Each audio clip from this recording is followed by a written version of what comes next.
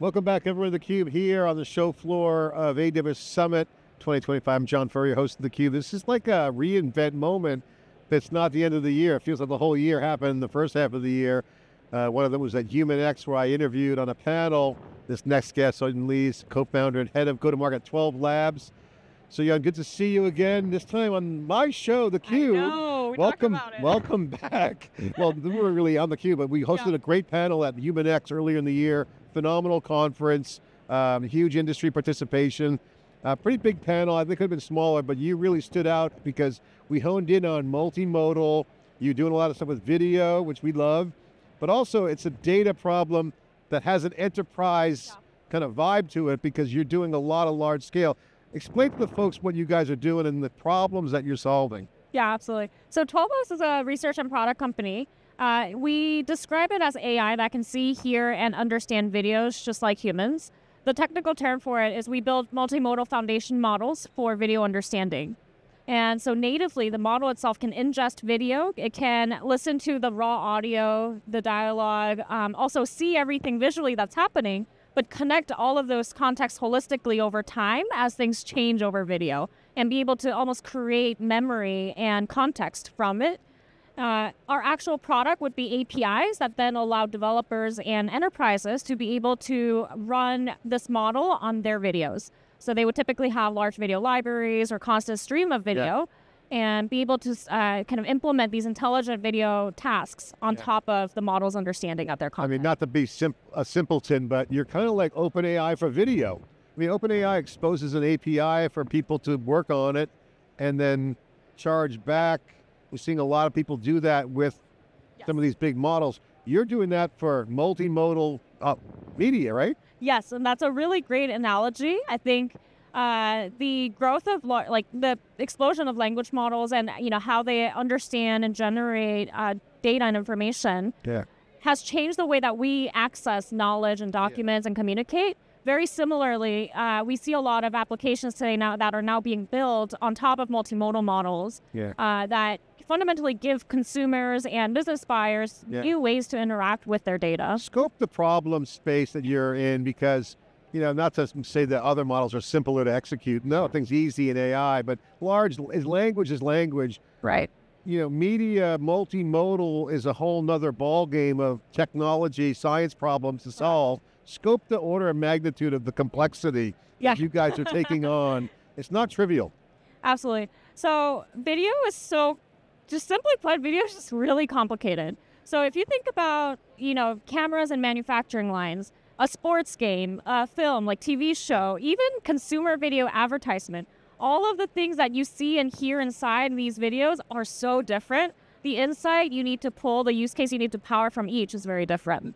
And so, for any organization that has a lot of the, you know, whose business relies on understanding insight from video, they've tried a lot of Yeah. different things. So, we've had computer vision models that will actually cut up video into frames, and it will take an image and extract objects and tag objects in a frame. Um, so, it will tell you this is a cup.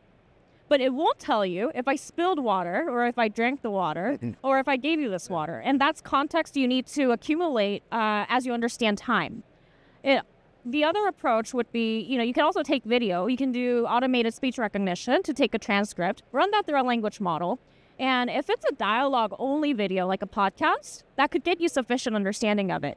Um, but the fact is, there's a lot of things that go missing when you're missing out on the tone, the way that somebody's saying something, um, you know, or emotions and things like that. Um, so to be able to holistically understand the video itself and then do that at scale across petabytes uh, of a library, it, it's a very exciting opportunity. It's interesting you mentioned the cup example because that's actually illustrates how hard it is. Like, I mean, you got to know all variations of multiple dimensions, time, space. I mean, it's a phenomenal. Okay, so this is not for the faint of heart. So where are you with the progress? Because explain kind of Yeah. where you are because you, you could point about podcasts because our videos are very simple. Yeah. Easy. Your algorithms will kill this no problem. oh yeah, done. Easy to do. But when you add in like full motion video, cinematography, um, this isn't like, hey, prompt, make me a video of two people talking at the store. I mean, you're getting into like real video action at scale. where are you on the progress? Can you share kind of where you're at? How are people using it? What's the low hanging fruit use cases? Because I'm sure it's popular. Yeah. Um, I'd say the a really common one that we're seeing where we've gotten a lot of adoption is we actually work with some of the largest media organizations in the world, whether they are studios, they're sports leagues, sports teams. And what all of these businesses have in common is that they have accumulated decades of incredibly valuable footage. And this is a archive from which they continue to tell stories in new ways from existing assets. Um, it's how they continue to maintain and grow their brand and find new revenue opportunities. Uh, the sheer ability to search that library yeah. and access, find things has been really challenging because uh, traditionally you would have had to actually yeah. manually tag content um, as somebody is scrubbing through it and taking notes on a spreadsheet. Yeah, exactly. So let me ask you a question. I'm, thinking, I'm getting nerding out here for a second, but like tagging at scale is hard. I can see that being instantly worked on. So check. But that's not it. No. There's more to it. what database do you Graphs would be great. Graph of graphs. I mean, so you start getting into like architecture. Yeah. How do you, as an engineering, uh, develop, uh, would think about it? Like, okay, I got to think. Okay, I have moments in time. I have schedule. I have full motion video that's got multiple dimensions. Yeah. How do you store? Like, is it graphs? Is it multiple databases? Like, what's the underpinnings? Yeah. You don't have to give away the secret sauce, but what's some of the technology decisions you made? It's a great question. So, uh, just like human memory, we have everything that we see and experience, we store in memory.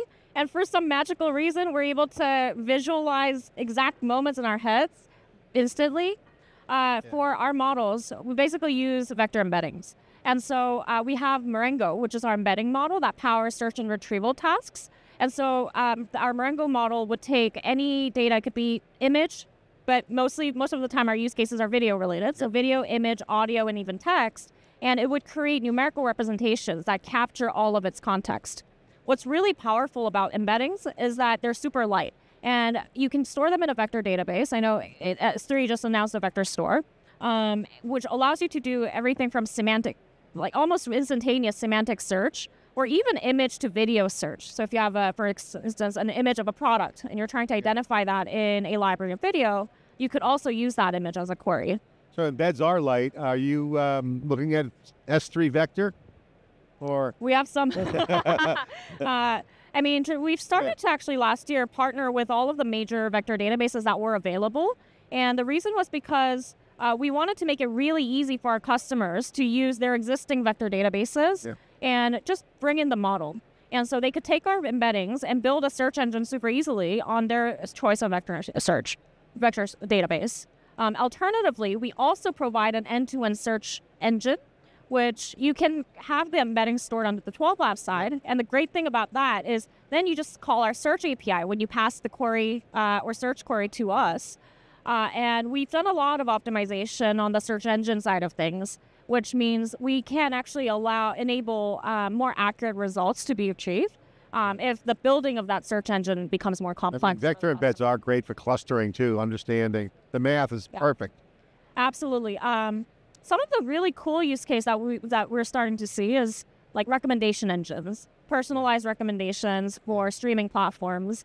Um, and things like that, where it's not a retrieval task. Okay, so I have to ask you. You know, obviously, I mentioned yeah. I love video. We love video. We've been doing it for 15 years here in the Cube. But we're like dialogue. It's a little bit different. But how would someone engage with you? Do I just bring my data to the table? What if I already have vector embeds? If I'm embedding my yeah. content, do I just transfer the database over? Do you read embed? How, just how yeah. does all that work?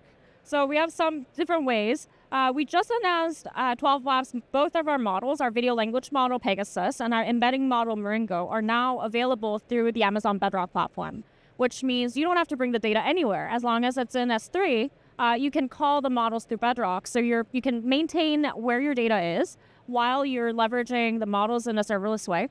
Uh, the easiest way to start, we do have a playground that offers a UI for anyone who's technical or non-technical to come to the 12 Labs site, sign up for a free account, and just see what's possible. And if you like, you know, if you're actually getting good results for your use case, then yeah. you can transition over to Bedrock and then deploy that at scale really easily. And what's the use case customer profile? They take the videos in. And if they have data, they, are they training off you or they're using your model to train theirs and infer? What's the? Yeah. I'm trying to understand like specifically what's the first three steps to Yeah. get going. Uh, first step, index videos. So in this step, you're creating the embeddings from your videos. Uh, second step, you're integrating the search API. So you're integrate, you're building some workflow, and that's dependent on the customer's use case. So for instance, if you are a sports league that has a really large library of footage, and you're trying to give your internal production teams access to that library to be able to freely search in natural language, uh, then you just bring that cable, connect that search bar within a content management platform uh, with the search API. So that we've seen done in like 20 minutes. Wow. Um, and then the third is just you run it in production, you uh, apply that at scale. All right. Well, let's talk about customers. How, how many customers do you have? Where are you guys out on the journey? You're heading to go to market. What's uh, what's the focus? What are you optimizing for? What is some of the progress? Where's the progress bar on that? Yeah. Uh, so today we have about 50, over 50,000 developer users. Um, in terms of our enterprise verticals, uh, we focused on three. So one is media, sports, and entertainment. Mhm. Uh, the second is advertising and ad tech, which also video is uh, becoming so critical. Video understanding is becoming critical to that industry. Um, and then the third is safety. Uh, how do we uh, kind of ensure safety, be able to do help, you know, find evidence and things like that across a wide pool of content? Safety as in like public safety, like Correct. police departments, Yes. things of that nature, crime scenes, pictures. Not safety as in like cameras on the streets too, or no, or Uh, I mean, it also does apply to personal homes as well Okay. if you're trying to do this with a human assist. And we do that's a nerd house right there. That's you know, index my videos. like ring cams, which would be very cool. Um, yeah, so those are kind of our enterprise verticals, and we also have an incredibly strong partnership team. Uh, the reason why partnership is so important to 12 Labs is because we focus on building, you know, really powerful, easy to use models. Uh, but we understand that for customers, it's actually not just the model that's needed. And so they they may have their own evidence management platform. They may have their own content management platform. Um, they may have their own hyperscaler like AWS that they where they store um, all of their content and stream it from. And so being having already integrated into all of these ecosystems uh, that exist makes it really easy for a customer to just be like, oh, let me just get this on Bedrock. Because it's a data thing for them. It's a data platform play. Exactly. So it's not like, hey, download an app and freemium. It's really an enterprise engagement. Exactly. So that's how we've kind of been able to uh, Hey. reduce the friction of being an API. uh, at the meantime, like how do we now have velocity on the business value creation? All right, so put a plug in for me. You guys looking to hire? What kind of people do you uh, hire? What's the mission statement? Yeah. What's the North Star? What's the culture like? Let me start with culture. Yeah, go with culture first. Take your we just had dealer's a, choice. Pick your. we just had a company-wide summit where we defined this. Uh, one is whatever it takes, and uh, I think that really embodies. So we're about 110 people today, but every single person in the company really embodies that spirit. Uh, the reason is because we're we have very ambitious mission, which is let's build AI that can understand the world just like humans, and give humans and machines the ability to see and understand the world in new ways. Um, and that can apply to so many things. So how do we get there from where we, you know, are as a smaller startup? Um, is like the spirit of we'll, you know, go above and beyond and like having sheer grit. Um, and how can we be smart? How can we listen and drive insight from customers better and things like Got that? Well, I'm super excited for it. Love your venture. Super technical too, and you know, right on the cutting edge. I think multimodal is clearly the growth area, but it's hard. You, you're Yes. doing the work. It. And obviously, big Amazon relationship here. Customer of yours. Good. We're super excited. You get good credits from Amazon? you don't answer that question. Well, we're always happy to talk about that. Love credits. It's like cash. Thank you for coming on the cube. Thanks, and great Thank to see you, you again. Yes. I'll see you at HumanX next year. We'll be I there. know. We might have the cube there next year. So Yeah. we'll talk to Stefan and the team. I'm John Furrier here at the AWS Summit. This is also Media Week at our NYSE studio. We've been broadcasting all week at the cube there. Again, AI and cloud happening here. Thanks for watching.